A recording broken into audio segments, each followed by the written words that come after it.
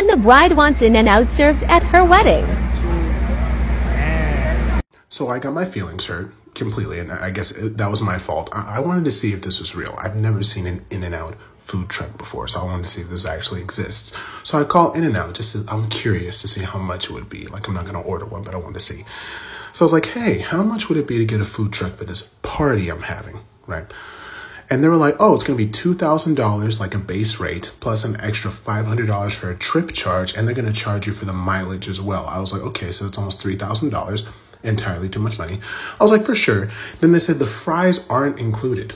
They only serve burgers and drinks. They don't do fries with the food truck. And I was like, well, you guys' burgers aren't good without the fries. And right when I said that, they were immediately insulted and they said, sir, if you're broke, just say that. Come here. What?